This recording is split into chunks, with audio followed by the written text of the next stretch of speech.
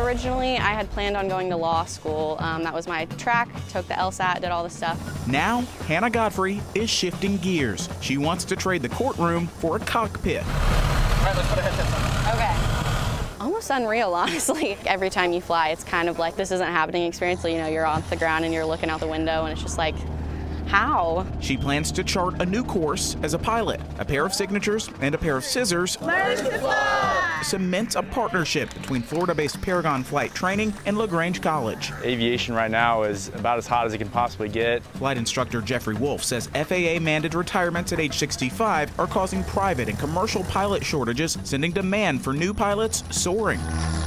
And the airlines obviously have to be successful in that hiring because if they don't, the planes aren't going to be flying and, and delays in, in travel will occur. LaGrange College will offer an aviation minor, mixing training and simulation on campus with real-time flying at LaGrange Callaway Airport. It excites me to be somebody who's paving the way for more females to be in the program. As one of the first students to take part in the new aviation program, Hannah Godfrey is going full throttle on a new flight plan with new opportunities really drives me to push forward in this because I know it's not going to be an easy path, but I think that it's going to be worth it in the end. So for anyone who's interested in information about the program, please go to lagrange.edu slash aviation for more information.